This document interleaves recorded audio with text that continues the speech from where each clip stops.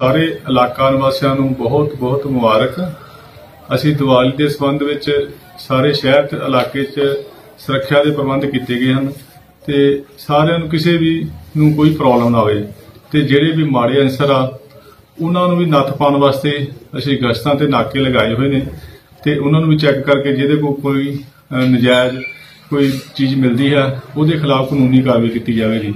ਤੇ ਸ਼ਹਿਰ ਦੇ ਵਿੱਚ ਦੁਕਾਨਦਾਰਾਂ ਨੂੰ ਹਦਾਇਤਾਂ ਕੀਤੀਆਂ ਹੋਈਆਂ ਨੇ ਕਿ ਜਿਹੜੀ ਡੀਸੀ ਸਾਹਿਬ ਵੱਲੋਂ ਜਗ੍ਹਾ ਮੁਕਰ ਕੀਤੀ ਗਈ ਹੈ ਉਸ ਜਗ੍ਹਾ ਤੇ ਹੀ ਆਪਣੇ ਪਟਾਕੇ ਲਗਾਣਗੇ ਤੇ ਸ਼ਹਿਰ ਵਿੱਚ ਕੋਈ ਪ੍ਰੋਬਲਮ ਨਾ ਆ ਸਕੇ। ਤੇ ਸਾਰੇ ਸ਼ਹਿਰ ਨਿਵਾਸੀਆਂ ਨੂੰ ਤੇ ਇਲਾਕਾ ਨਿਵਾਸੀਆਂ ਨੂੰ ਮੇਰੇ ਵੱਲੋਂ ਸਾਰਿਆਂ ਨੂੰ ਬਹੁਤ ਬਹੁਤ ਮੁਬਾਰਕਾਂ।